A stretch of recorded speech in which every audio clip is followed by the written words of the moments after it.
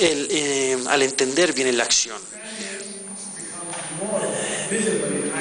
Eh, el entender solamente, eh, al entender todo puede pasar a acción, no solamente se queda en lo teórico. Y por esa razón utiliza el formato historia, porque el lector, mientras va leyendo el cuento, está aprendiendo algunos conceptos mientras se divierte. Entonces, esta es la presentación de PowerPoint en Total Alignment. Ahorita me gustaría hacer algunos, algunas eh, remarcas.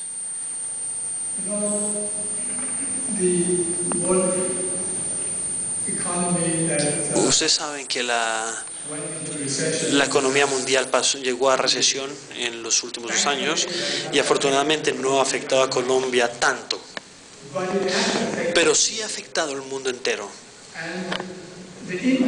Y el impacto de esto, o al menos en Estados Unidos y algunos otros países, es que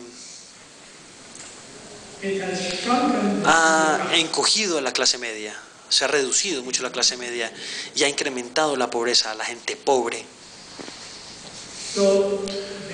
Entonces la brecha entre los pobres y los ricos no solamente se ha incrementado, sino que ha agregado grandes, grandes cantidades de gente pobre. Esta situación no puede continuar por siempre. Y por lo tanto estoy apelando a las personas que están más en la posición de autoridad para que piensen sobre los cambios fundamentales que tienen que llevarse a cabo en la forma que ustedes gerencian sus negocios.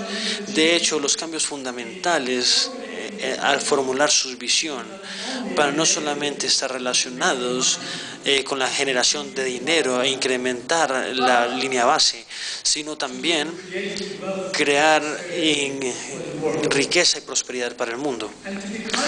Y para ser consciente de cómo ustedes operan para poder alcanzar esta visión.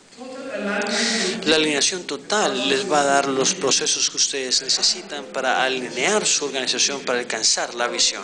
Pero ¿qué tal si la visión no vale mucho la pena?